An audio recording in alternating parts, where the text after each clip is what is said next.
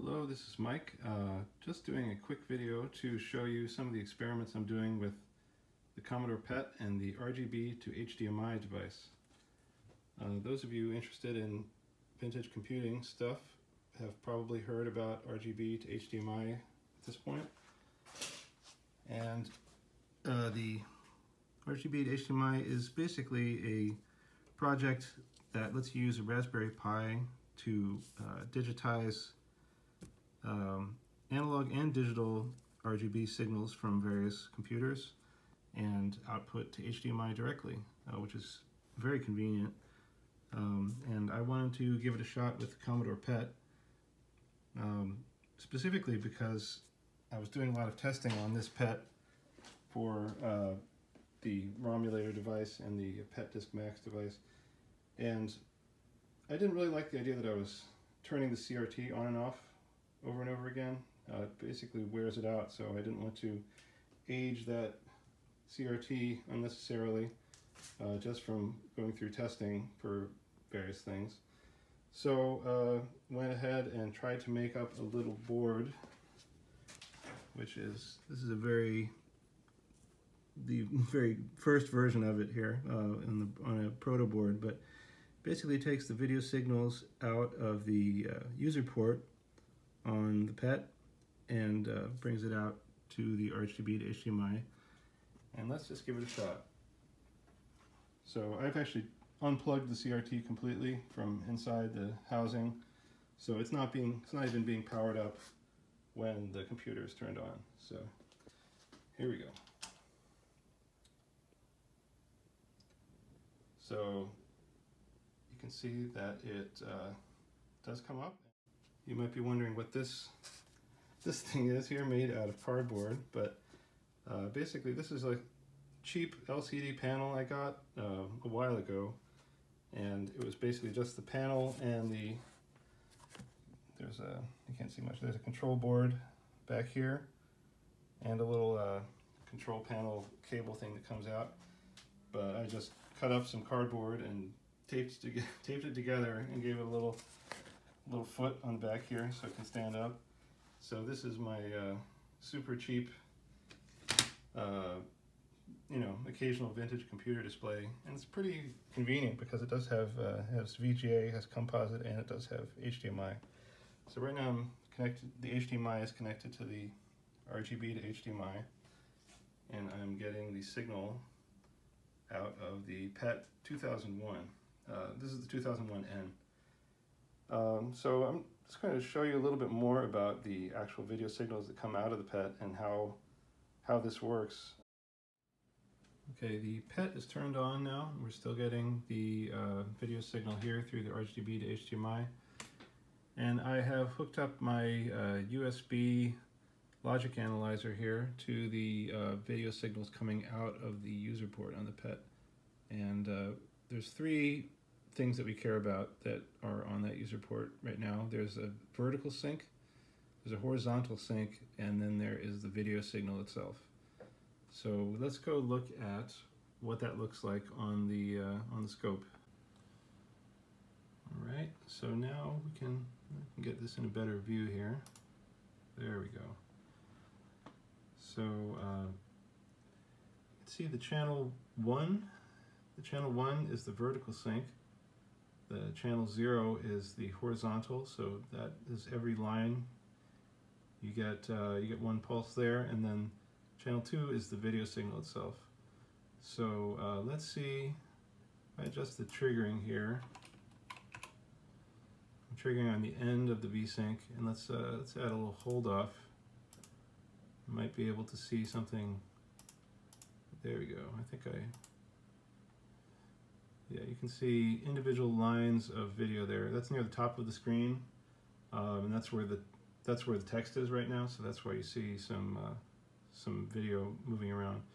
And this is a TTL digital video signal. It's five volts or zero, and uh, it's monochrome. So uh, we're just talking about black or green in the case of the the PET.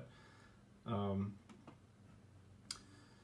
so what you need is you need the vertical sync and the horizontal sync and the video to go into the RGB to HDMI. Um, So what I tried first was I tried uh, hooking this up separately. I tried hooking up the H-Sync and the V-Sync up to their individual pins like they are in the HDMI, uh, RGB to HDMI, and I couldn't, I could not get it to work. Uh, doesn't mean it can't work. It seems like it should be able to. Um, but what I did was I took the vertical sync and the horizontal sync and combined it into a composite sync signal. Here's the uh, schematic for this uh, adapter board that will be coming soon. Um, you can see this is the 74, these are the gates of the 74 LS02 NOR gate. Uh, VSync, VSync is, has the option of being inverted or not inverted. This is a little more flexible than it needs to be. H-Sync can be inverted or not inverted. And then they're combined, uh, they're combined with this gate here into the C-Sync signal. Well here I've hooked up the uh, scope to the uh, composite sync signal, which is this channel 3 signal, and you can see that it is effectively a combination of V-Sync and H-Sync. Uh, let's look a little closer at that. Uh, in addition, the uh, it also uh, inverts the uh, horizontal sync signal. I believe in this case, yeah, V-Sync is low during the V-Sync the V blank period, and uh, it looks like H-sync is inverted with respect to that. So H-sync goes high during the uh, at the start of each line. So inverted that. Um, so the so now they both are they both go to zero during their active period. Oops, my fingers in there. Um, so there you have the composite sync signal, and that's what's fed into the RGB to HDMI Oops. Uh, where's the menu here? I don't want to enable Genlock. Okay, well, now I've done it. okay, main menu. Uh, it's the geometry menu here. Uh, is that it? No. So on the geometry menu, this is inverted sync yeah, inverted sync. And the rest kind of took care of itself. Uh, I did set the, mm, the, this is a custom profile in the RGB to HDMI. I, this, I set the uh, horizontal width to 640. It's basically doubled because the real resolution on this is 320 by 200. I'm going to do some experiments with this. Right now it works on the 2001. I'm going to try try it on the uh, PET 8032. Um, which has a slightly different video output. I know that the uh, polarity of one of the sync signals is different, and it's also a different frequency. It's not, um, the PET 2001 is pretty close to a NTSC signal, and in fact there is a, uh, there's a schematic out there for a uh, PET TV output. I believe it was the uh, PET Users Group of England that made that schematic.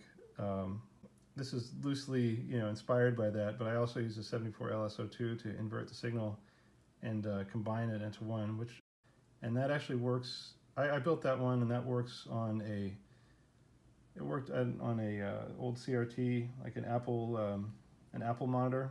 It worked on, but on a uh, modern composite input, it just would not sync. So uh, that's that's part of the inspiration for doing this.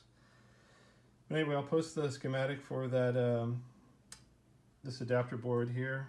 I'm going to having a few of the PCBs made up, and you know if it works out well, then uh, I might you know, fine tune that a little bit and uh, have that be something that you can uh, just grab the Gerbers for and make yourself if you like. But uh, anyway, thanks for checking this out, and I'm very excited to have a HDMI output from the Commodore PET.